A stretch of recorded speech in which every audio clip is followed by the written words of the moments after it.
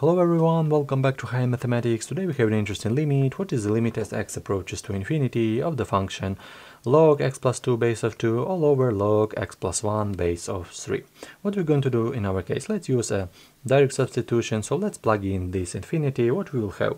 We will have log infinity over infinity. So our direct substitution show us that we will have infinity over infinity. So infinity over infinity is undefined, so we need to find tricks right here, how can we simplify this, and really good trick, really good method how to solve it is to use L'Hopital's L'Hopital's rule right here. So let's use this rule. We will have derivative from our numerator over derivative from our denominator. So this will be equal to limit x approaches to infinity in our denominator we will have ddx from our denominator log x plus 2 base of 2 all over ddx of our denominator log x plus 1 base of 3. So let's find our derivatives using this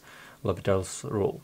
So derivative from our from our log will be limit x approaches to infinity from our denominator we will have 1 over x plus 2 and times natural log 2.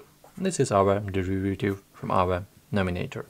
And the same case in our denominator. We will have 1 over x plus 3, x plus 1 times natural log 3.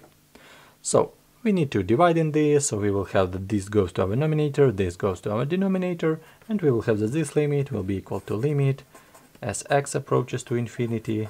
We will have natural log 3 times x plus 1 all over natural log 2 times x plus 2. x plus 2.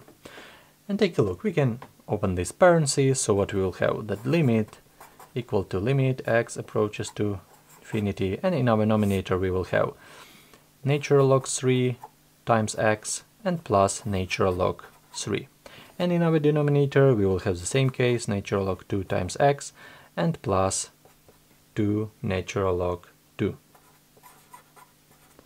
and take a look. If you plug in infinity right here what we will have? We will have that our limit will be equal to natural log 3 all over natural log 2 because of the dominative dominating power of x.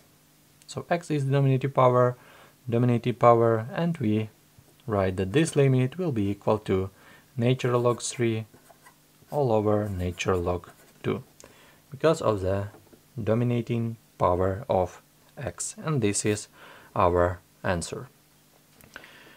If you have any question, if you have any suggestion, maybe you have faster method how to solve it, write your suggestion in comment, write your question in comment. Thank you so much for watching, subscribing, putting thumbs up.